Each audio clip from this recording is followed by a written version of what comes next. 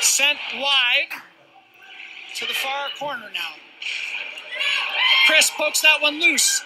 Anderson there muscling for it. Ethan takes that off the boards and out. 12 seconds remaining in the game, folks. To the, to the near side. Aiden stepping in. There's Chris behind the net. Three seconds remain.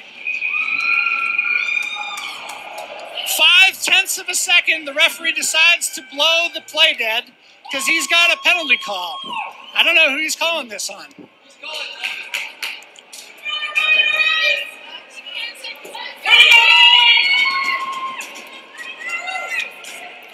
I think this is a call on the Thunderbirds. It's a call on number eight for the Thunderbirds for roughing. So with five, five tenths of a second left, they are going down a band. They run the clock, and that's the game, folks.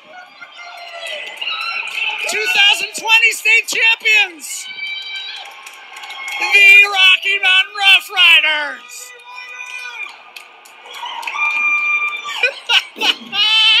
this is great.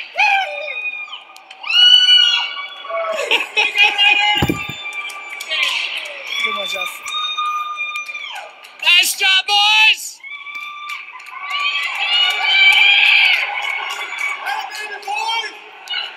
Nice scrum around Coach Paul here.